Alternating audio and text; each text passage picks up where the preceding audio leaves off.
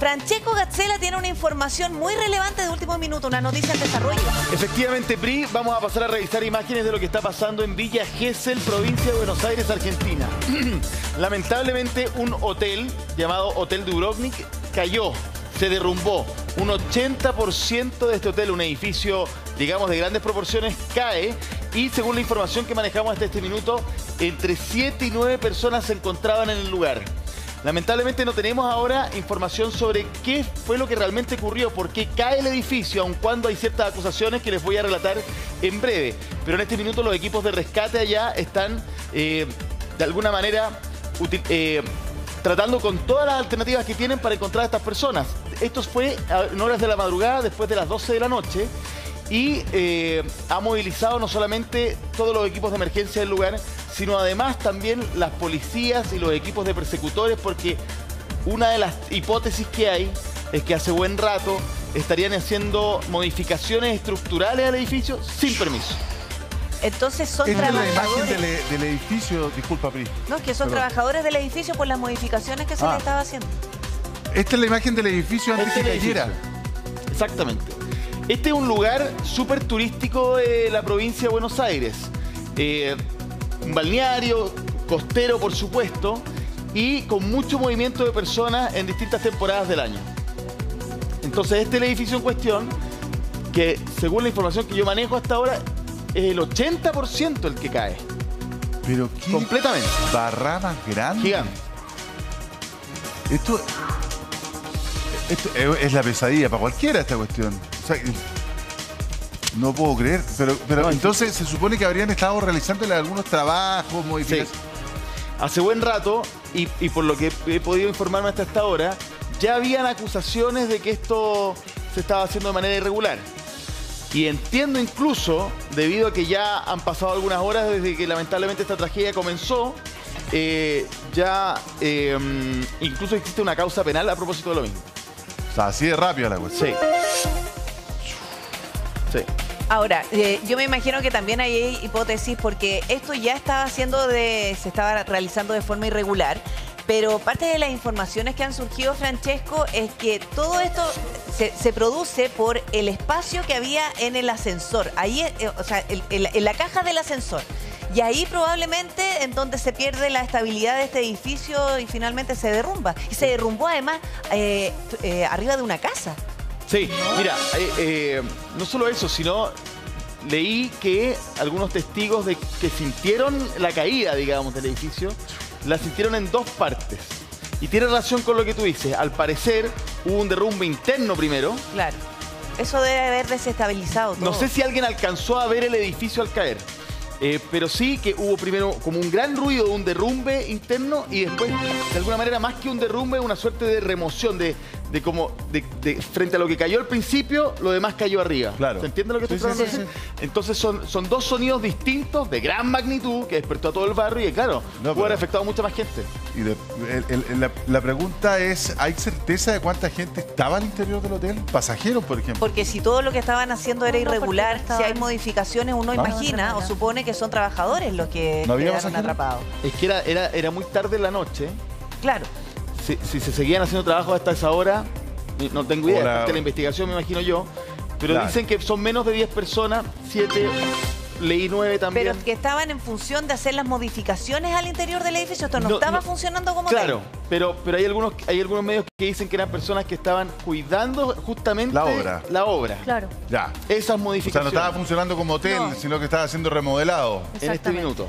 Ya, pero había gente al interior que seguramente a esa hora estaba cuidando. Eh, probablemente, no sé, eh, eh, en el terreno de la especulación, no es que estaban clavando un clavo y se vino, probablemente el, el edificio quedó inestable. Igual hay obras que funcionan de noche, en cierto tipo de labor específica. No sé si habrá sido eso el, Y que, este deben ser, y que deben ser probablemente las menos ruidosas. Ahora, según la información que nos llega, son 180 personas las que están trabajando en eh, las labores de búsqueda de quienes quedaron atrapados en, en- medio de los escombros. Y además se estableció contacto con una de estas personas y se está intentando también localizar a otras personas porque, claro, mientras portan el celular van a poder en algún minuto, si tienen la movilidad, pedir ayuda, pero si no, va a ser súper compleja esa misión, es terrible. Además, se trabaja contra el tiempo. Y hasta el momento, los bomberos pudieron establecer contacto con una vecina del edificio que colinda eh, con este edificio que se derrumbó, quien estaría con vida y avanzan con la pista que, que dieron los perros de búsqueda de una segunda persona. Estamos hablando eh, al menos entre 7 a 10 personas que estarían aquí en medio de los escombros con, como les decía, es un trabajo contra el tiempo y tremendamente angustiante, porque, porque sobre todo quienes han trabajado eh, en, medio de, esta, de estas tragedias saben que no es llegar y avanzar o, remover esos escombros pensando que puede haber una persona Eso es lo más difícil que hay. claro, porque podéis generar nuevos derrumbes. Claro. Al mover algo desestabilizan los escombros. Muchas veces las personas que, que logran salir con vida de un derrumbe tiene que ver porque justo los escombros al caer generan pequeñas cámaras, espacios en los cuales estas personas se salvan y tienen acceso a oxígeno. Ahora, entiendo que incluso el trabajo es tan delicado que para poder dar con algunas personas tienen que en algún minuto parar toda la maquinaria, toda la gente guardar silencio, retirar incluso a, los perros, me imagino yo, para poder escuchar si hay algún ruido de auxilio o alguna señal. Claro, tac, tac, tac, tac, golpe, Cualquier cosa puede, puede alertar eh, para enfocarse en el trabajo en ciertos puntos. Ahora, eh, después de las palabras del fiscal, eh, la información muy preliminar que se entrega a la prensa, hay ya titulares, por supuesto, que tienen que ver con esto y en página 12 lo titulan de esta forma. El edificio implosionó. La hipótesis del derrumbe en Villa Gesell. Mira, la implosión... Tiene que ver con lo que dice Francesco. Claro, que habría sido desde adentro. Imagínate cae una estructura o, los pilares que sostienen el, edificio se derrumban por dentro, eso genera un movimiento abajo fuerte y después se derrumba el, edificio completo. O sea, es una caída que genera una una fuerte explosión adentro y después cae. Claro, no, es que el edificio cae para el lado, sino que lo que pasó fue que desde adentro se generó el problema estructural que hizo caer la... De todas formas, es una hipótesis porque esto se va a investigar y todavía no hay quizá algún registro que nos pueda aclarar mejor eso. Pero lo que acabo de leer también tiene que ver con que lo que se sabía que se hacía en el lugar, o sea, se había solicitado algún tipo de permiso, pero para labores que evidentemente no tienen nada que ver con lo estructural. Eh, remodelar eh, desde el punto de vista de la pintura, carpintería, pero no desde la estructura. No, claro. bueno, todas las construcciones tienen un esqueleto base, claro. que es, digamos, por ejemplo, no sé, si usted está, tiene un departamento, tiene una casa, seguramente puede tocar, golpear lo que es tabiquería y lo que es estructural. Si tú tocas lo estructural o intervienes lo estructural, la casa o, el, edificio evidentemente pierde consistencia o estabilidad y modificar una, pared estructural. Claro, si acá hicieron eso, porque te invento, ah, ¿sabes que Esta parte, botemos este muro porque vamos a ampliar y vamos a hacer un gran salón comedor, ponte tú. No sé, pues, estoy pensando que es un hotel. Eso, claro, te puede dejar la escoba, derechamente. Sí, mira, solamente para entender el significado de la implosión porque habla de la acción de romperse hacia adentro con estruendo las paredes de una cavidad cuya presión es inferior a la externa. Y probablemente cuando habla de cavidad tiene que ver con los trabajos que se hacían en la, caja del ascensor. Pero fíjense que además hay informaciones muy dramáticas y que deben ser muy angustiantes también para las personas que están trabajando en la búsqueda de las personas que quedaron atrapadas entre los escombros, porque eh, se logró determinar o localizar a una de las personas que está bajo los escombros, pero ella estaría a entre 4 y 5 metros de profundidad. Entonces ya es muy difícil. Fíjense que esto fue identificado o marcado por los perros que están trabajando ahí en el, en el lugar, los que marcaron este lugar, pero esto fue hace dos horas es tremendo porque ya han pasado dos horas de esa localización y todavía no han podido remover esos escombros porque ya estamos hablando, imagínense, cinco metros es como si habláramos al menos de un piso y medio una, o una casa de dos pisos. Más o menos para que se hagan una idea. ¿Cierto? Sí. No, y además que angustiante porque, bueno, ha estado seis horas completamente o sea, por lo menos ahora la ubicaron a esa persona. Estoy tratando de ser. Pero en principio mirar el vaso medio lleno. Por lo menos ya saben que hay una persona ahí. Porque esto fue a la una de la mañana. O sea, tiene que haber estado unas seis horas totalmente un comunicado. Ahora, por último, ya la comunicación da alguna esperanza de que ya, sabemos que hay alguien, sabemos que está ahí, no es fácil, pero por lo menos ya hay una iniciativa, digamos, sobre el punto, digamos, sobre el lugar. Ya Claro, una vez ubicado ya... Lo primero que hizo Bomberos fue, mira, lo estoy leyendo acá, es, es un- es simplemente un grito. Si alguien me escucha, que golpee. Si alguien me escucha, que golpee en distintos sectores. Claro. Y ahí fueron descubriendo algunas señales que después se transformó en una voz. Pero partió, partió súper así, no muevan nada, si alguien me escucha, que golpee. Es terrible lo que se está viviendo a esta hora en Argentina. Nosotros estamos revisando las imágenes en vivo y por supuesto la transmisión de, de distintos medios de ese país porque resulta que eh, se trata de el derrumbe de un edificio de 10 pisos.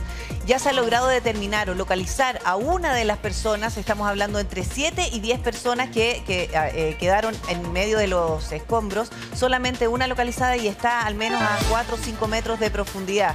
Eh, en un trabajo que, claro, se puede hacer ahora con mayor facilidad porque hay sol, pero resulta que el movimiento de las mismas personas que trabajan ahí, los mismos vehículos de emergencia, el tránsito, o sea, la calle en general, genera mucho ruido. Y lo que están intentando hacer son momentos de silencio, que era lo que estaba eh, comentando Francesco, que en el fondo eh, tiene que ver con que si es que hay alguien que, que está ahí me escucha, que golpee a través de estos golpes que podrían de alguna manera llegar a superficie, eh, determinar si es que hay más personas que se puedan localizar en un trabajo contra el tiempo. Escuchemos lo que dicen los medios de Argentina. Declaraciones de último minuto del ministro de Seguridad bonaerense, Javier Alonso, señaló eh, que en estos momentos estaba poniendo todo el esfuerzo en el rescate de los sobrevivientes que pudieron haber quedado atrapados bajo los escombros. Los vecinos nos dicen que en ese lugar se estaba haciendo una obra. El edificio implosionó, indica Javier Alonso. El encargado de la cartera de seguridad bonaerense se derrumbó sobre sí mismo hablando de este edificio en el cual estamos mostrando cómo siguen las tareas de los bomberos. Se trata de un inmueble de unos 10 pisos y los últimos pisos cayeron hacia la derecha sobre el edificio de al lado. Puntualiza este funcionario bonaerense que se encuentra en el lugar junto con funcionarios municipales, el jefe comunal de Villa Gesell, Gustavo Barrera, que también se encuentra siguiendo de cerca la evolución de todo este operativo. Vemos bomberos de no solamente de Villa Gesell, sino también de otras ciudades de la costa bonaerense. Ahí mm, están, ahí se escucha la voz de una mujer. En este momento están usando una sonda para verla. Los perros han detectado cerca otros cuerpos también. Los perros están participando de este operativo junto con los rescatistas. Pero lamentablemente no dan señales de vida salvo esta mujer. Los que estaban en el primer y segundo piso son los más complicados porque tienen toda la carga de escombros encima. Eso lo dice el ministro de la provincia, Javier Alonso, el ministro de Seguridad de la provincia. Está diciendo que habría una persona y que la están viendo con una sonda, con una cámara, en la punta de esa sonda, muy milimétrica, y la están viendo con vida, por eso están muy cerca de ella y están tratando de ir moviendo escombro por escombro, como si fuera un trabajo quirúrgico, para que un movimiento inexacto termine de, de mover otros escombros que termine la posibilidad de que haya vida en ese, en ese lugar. Esto es en Buenos Aires y la calle 1, Buenos Aires 250, en Gesell, un edificio muy conocido. Si vos ves la estructura, te vas a dar cuenta que lo viste alguna vez, si en alguna oportunidad pudiste descansar en Gesell. Son edificios en zonas muy concurridas de Villa Gesell. Estamos hablando de la avenida Buenos Aires y la avenida 1. Está a una cuadra de la playa, a solo dos de la avenida principal de Villa Gesell. Una zona muy concurrida, una zona muy buscada por los turistas de cara a la costa. Muchos que no tienen la posibilidad de poder movilizarse en un automóvil que lo acerque al lugar donde alquiló o donde reside hacia la playa. Entonces busca lugares cercanos, justamente hacia la costa. Y este hotel se estaba preparando justamente de cara a la temporada alta de verano, haciendo estas modificaciones que vamos a, ver en la continuidad informativa si finalmente estas obras fueron las que concluyeron en, la, en el colapso de este edificio. Todo indica que una obra en el hueco de un ascensor habría sido el origen de este colapso, este derrumbe del edificio de 10 pisos, de parte de todo eh, este complejo, este apart hotel ubicado en la avenida 1 y Buenos Aires. Completamente alterada también la movilidad de la ciudad de Villa Gesell, justamente con, con este operativo. Recordamos que se modificó momentáneamente el recorrido de sur a norte para las escuelas, mucha gente que reside en el lugar y que empiezan los movimientos propios. Ahí estamos revisando de- eh, más información que se agrega en, en los medios argentinos. La verdad es que ha sido tremendamente angustiante y también describen el lugar. Incluso una arquitectura que tiene este edificio, que tenía este edificio, que era muy característica. Eh, Claudio Valdivia, ¿tú conoces ese sector? Eh, yo entiendo que tú también tienes ba- bastante relación con Argentina. Sí, mi pareja es argentina y por lo tanto hemos ido a veranear un par de, de veces al balneario que queda. Claro. Esto no es Buenos Aires, esto queda a 300 kilómetros aproximadamente de Buenos Aires, pero es el balneario que utilizan los bonaerenses Claro. y también gente del interior. Muy turístico, por eso decían que se preparaban precisamente para esta temporada. Así es, son balnearios que tienen construcciones muy antiguas y en la última década están viviendo un segundo aire y por lo tanto están en ese proceso de renovación de todas estas construcciones Claro. para la moderniza- modernización del- Claro. de los hoteles. Son balnearios muy populares, muy concurridos en el mes de enero de cada año y eh, lo que uno ve efectivamente es eso, construcciones antiguas. Claro, y probablemente son construcciones antiguas que en vez de echar abajo los edificios, eh, eh, tratan de alguna forma de, de arreglarlos, modernizarnos y ir acondicionándolos. No es, no es lo mismo hacer un edificio nuevo que remodelar esas, esas construcciones que son muy añosas. Es que, a ver, estamos hablando de hoteles que quedan muy cerca de la playa y por lo tanto son muy valoradas y- Claro. y, está, insisto, están viviendo un segundo aire, lo están modernizando y están atrayendo a mucha gente, a mucha gente joven de nuevas generaciones que son argentinos que no vivieron. Esto queda muy cerca de otro balneario que también es un poco más exclusivo, que es Pinamar. Eh, y, eso, y, y eso, y eso significa que estas, estos balnearios pequeños se están aprovechando de esa modernización. Mira, hay más información que se agrega, lo, re- lo escuchábamos recién, ya se habría establecido contacto con una mujer. Eh, también los perros habrían detectado otros cuerpos, no se sabe si están sin vida, pero además dicen que lograron recientemente establecer contacto con una segunda mujer. Con la primera mujer estarían estableciendo contacto a través de sondas, incluso ahí utilizaban un, concepto bien médico, es que como si fuera un trabajo quirúrgico, una cámara a través de una sonda intentando llegar a donde se encuentra, porque estaría al menos a 4 o 5 metros de profundidad. Lo más complejo de todo es para aquellos que habrían estado en el primer nivel de este edificio, porque al momento de colapsar claramente es toda la estructura la que les cayó encima. Claro, hablaban del primer y segundo nivel, que ahí, ahí habrían estado las personas. Claro. Y como tú bien dices, Pi, esta persona la están, la están mirando con esta sonda. O sea, están seguros, la información que manejamos hasta esta hora, que estaría con vida justamente porque al menos la están viendo. No sé si hay comunicación, pero al menos la están viendo. Eh, complementando lo que decía Claudio también, pensando, este es un hotel, por lo que he podido leer, símbolo de este balneario porque representa parte de lo que ha sido la llegada de la colonia croata, eh, por lo mismo el nombre que tiene eh, un matrimonio, funda este, es- crea este hotel en, su- en- sus años y eh, claro, es muy simbólico. Entonces también hay una pérdida simbólica, patrimonial, pero más allá de eso, quiero decir que por lo mismo probablemente tampoco has- ha, tenido grandes cambios en los, en los últimos años. Claro, mira, hay otra información que tiene que ver con la comunicación que ha podido establecer con la primera mujer eh, con la cual han tenido algún contacto eh, y dice que hay otra mujer que estaría con una niña en medio de los escombros, una mujer que estaría con una niña y que lamentablemente estaban en el lugar al momento del derrumbe. Por lo tanto, aquí se ve un trabajo, pero...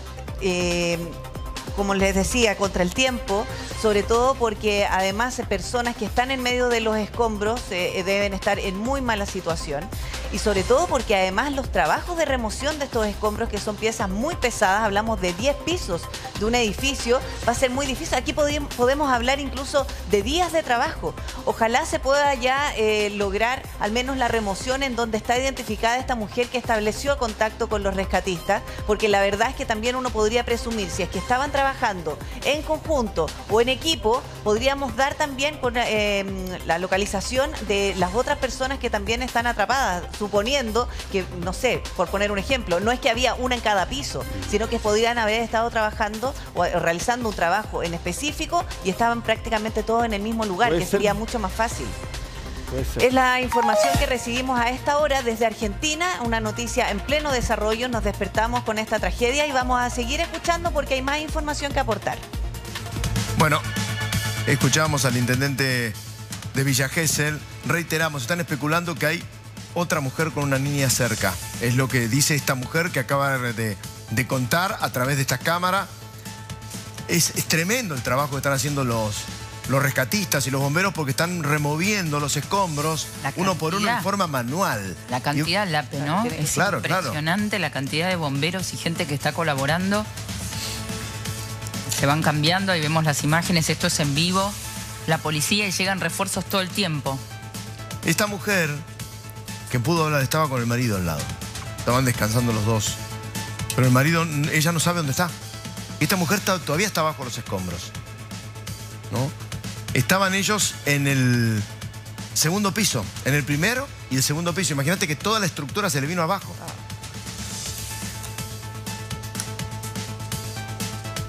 También calculan que las personas pueden estar entre 4 o 5 metros de profundidad, Claro. según la actualización del jefe de bomberos de Villa Gesell, estamos hablando de Hugo Piris, que siguen con la búsqueda de estas personas que se encontrarían bajo los escombros. Es muy difícil el acceso, estaba consultando con especialistas y a través de esas ondas también los hidratan a las personas que están Claro, justamente debajo claro. de los escombros. Qué terrible, ¿no? Qué- Eh, exactamente, tratan de mantenerlas despiertas. Hay que averiguar muchas bien horas. porque dicen que había cuatro obreros ahí, estaban trabajando y que pudieron salir. Ni bien, ni bien se derrumba el edificio. No sabemos si en el momento que se está cayendo abajo, si se dieron cuenta, si tu- pudieron Ah, salir. atención con ese dato. Claro, están estaban- por declarar ante la fiscal. Va a Lo ser acaba de decir el ministro fundamental. recién también. Fundamental lo que digan estas personas, Claro. porque van a- estaban ahí. Y, y si es cuatro obreros que estaban trabajando. Eh, a ver, el edificio, la información que hay por, por el momento es que el edificio implosionó, ¿no? Eh, evidentemente la estructura colapsó desde adentro y los últimos pisos, obviamente cuando empieza a caer, se, va hacia un lado y, ese, y, ahí cae sobre esta casa. El, eh, el rescate de las personas va a ser muy complicado, muy delicado. Se está Ojalá que haciendo a tenga mano. éxito. ¿ah? Se está haciendo a mano. Claro, no se puede meter maquinaria ahí porque puede generar mayor colapso de los escombros y, y complicar más la, la situación de las personas. Es un trabajo súper delicado. Y lo más probable es que efectivamente, como, como se dice desde la televisión argentina, están a 4 o 5 metros, porque eh, esto tiene que haber sido intervenido, digamos, desde el punto de vista estructural, que es la hipótesis que se maneja, desde los pisos más inferiores, Exacto. para provocar el colapso, digamos De los pisos base. en los pisos base y eh, seguramente ahí se encontraba la mayor cantidad de personas. Entonces, toda la cantidad de escombros de estos 10 pisos debe tener a las personas a 4, 5 y si no más metros de profundidad. Entonces, es un trabajo, digamos, muy delicado. Aquí hay gente muy experta que tiene que, que, eh, digamos, ir liderando las labores. Cada escombro que se remueva tiene que ser con un cuidado brutal, digamos. Entonces, Sí, porque cada uno de esos movimientos provoca un efecto y eso Exacto. puede ser peor. En, en una información que vamos a seguir monitoreando es lo que está pasando a esta hora en Argentina y apenas tengamos mayores novedades se las vamos a estar entregando por